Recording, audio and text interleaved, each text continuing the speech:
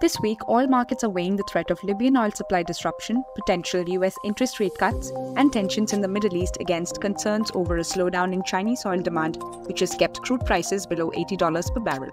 Potential Libyan production losses of up to 1 million barrels per day could prompt OPEC Plus to delay its planned phase out of voluntary production cuts in October.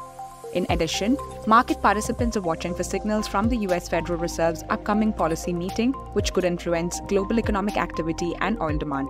In gas, the heaviest maintenance period for Norwegian facilities will peak this week, with up to 240 million cubic meters per day of capacity offline.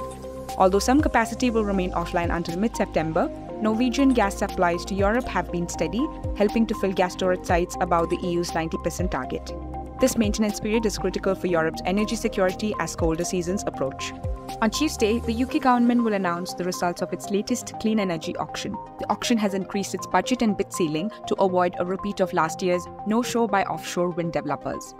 Analysts predict that between 4 and 6 gigawatts of contracts could be awarded, marking a significant step towards the government's ambitious 2030 renewable energy targets.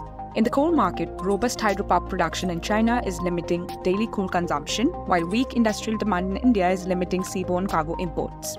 However, demand is expected to pick up from mid September as China restocks for winter and Indian buyers replenish stocks for upcoming festivals.